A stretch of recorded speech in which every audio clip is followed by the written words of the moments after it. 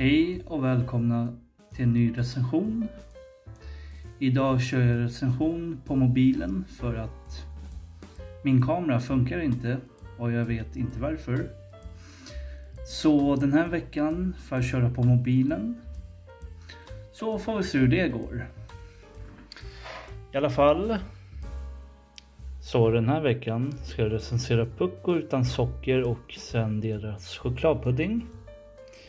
Eh, sen tänkte jag även jämföra den med eh, vanlig Pucko och se om, om det är någon skillnad. Eh, helt enkelt. Så det ska vi göra.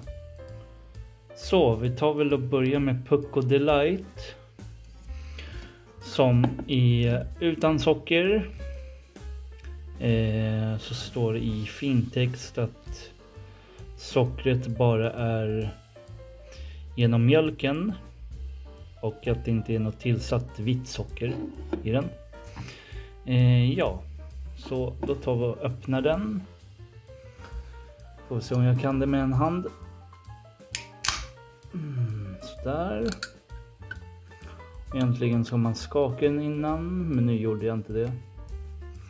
Eh, ja. Ska vi se vad den smakar.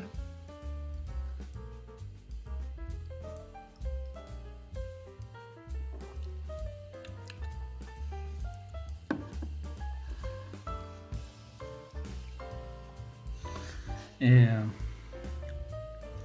den är söt.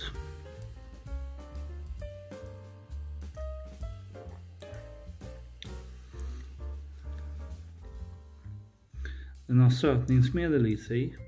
Eh, det var ett konstigt sötningsmedel. Acesulfamkalium. Aldrig hört talas om. Eh, men den...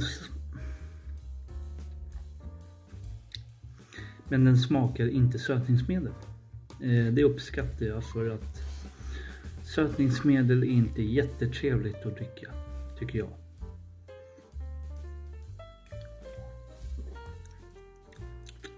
Mm, men den är faktiskt god. Ja. Då tycker jag att vi jämför den med vanlig pucko. Så då prövar vi med vanlig pucko. Eh, den här ska också skakas. Eh, på den här står det skaka som att du hade Parkinson och öppna försiktigt. Eh, jag tror att det är samma för den här. Eftersom kakon ligger på botten så tar vi och skakar. Kan man vända den upp och ner. Hoppas på att korken sitter kvar. Så.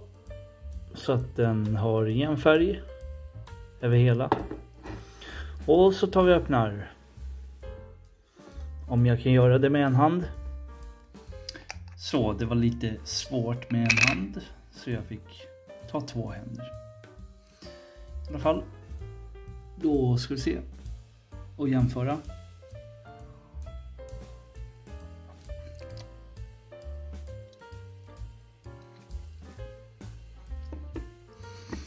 Eh, vanlig pucko är inte lika söt. Eh, sen har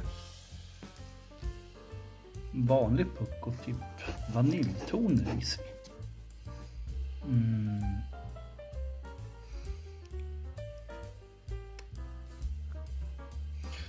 Den innehåller 5% socker, fettreducerad kakao, salt, natriumkarbonat och aromer. Eh, men det känns som det är någon form av vanilj i den.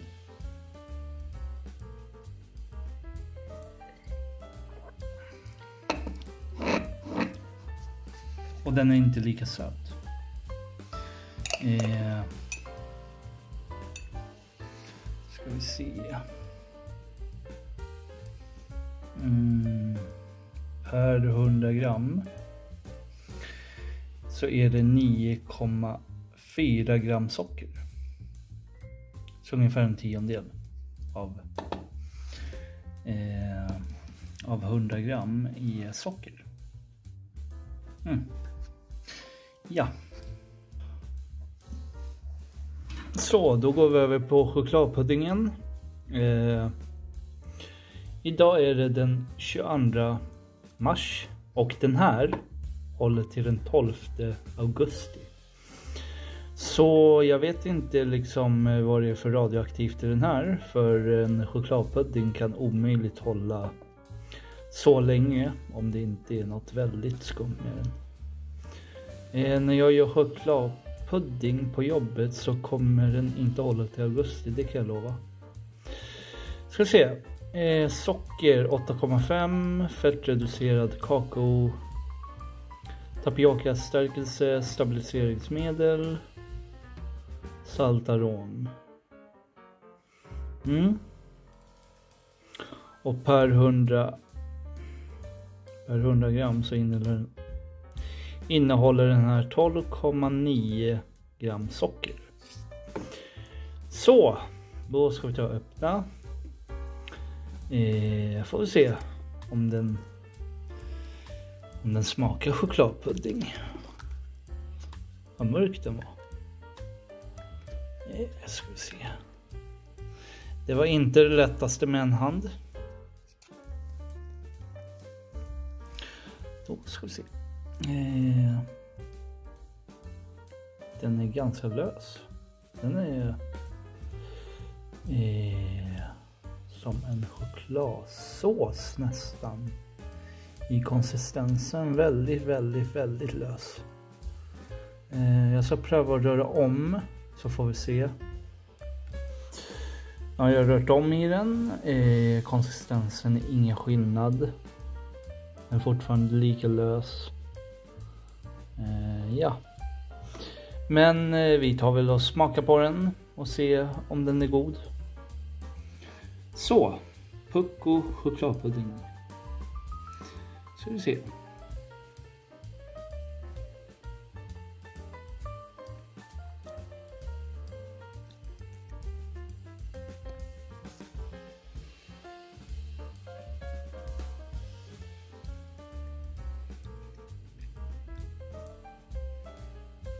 God smak. Eh, den är ju inte tjock i konsistensen. Eh, den är len. Och rinnig, så jag spiller på mig själv. Mm. Ja. Den är faktiskt ganska god. Eh, den enda chokladpuddingen jag har prövat innan direkt är Jackie och den är ju billig i jämförelse. Den här kostade mig 19 kronor tror jag. Och en Jackie kostar 5. Typ. Eh. Eh, vad ska man ge den här för betyg?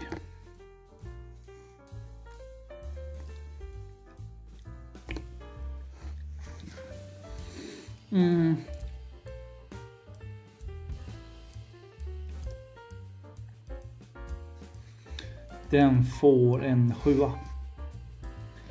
Eh, den kunde varit tjockare. Eh, nu är den liksom rinnig, spiller överallt. Eh, svår att äta om du inte har liksom burken direkt under munnen. Eh, och sen är den ganska dyr. 19 spänn för en burk på 200 gram. Mm. Det är ju inte skitbilligt om man säger så. Men eh, du kommer garanterat bli eh, mätt på den.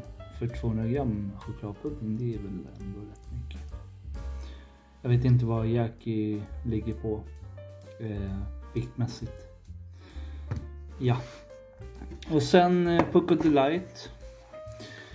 Eh, nu tar jag smaka på den igen.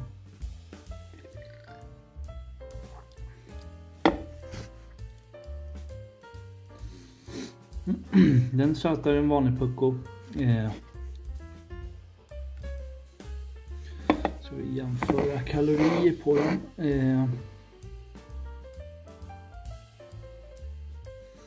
Så en vanlig pucko har 67 kalorier medan Delight har 47. Så det är en skillnad på 20 kalorier. Eh. Delighten är dyrare för att det är en mindre burk. Eh, den kostade också 19 kronor tror jag. Vilket är svindyrt för en 250 milliliters burk chokladmjölk. Eh, det är rätt mycket pengar. Det är liksom ett literpris på 80 kronor. Typ. För lite för lite kakao och eh, mjölk. Mm. Vet inte om det är värt det faktiskt. Eh, vanlig puckor tror jag också hade exakt samma pris. Eh, jag ska inte svära på att det var samma pris för det minns jag inte. Eh, men jag tycker faktiskt Pucko original är godare. Personligen. Eh, Delighten får en sexa. Eh, Pucko vanlig får en åtta. Så, det var dagens recension. Eh, ursäkta för kvaliteten på den här videon. Eh, eftersom jag inte får min kamera att funka så fick det bli på det här sättet för att jag kunde inte komma på något annat sätt att få ut en video till på fredag. Eh, men i alla fall. Det var dagens recension. Jag hoppas att ni har fått ut någonting av den här konstiga videon. Men i alla fall, jag hoppas att ni mår bra och att vi ses snart igen. Hejdå!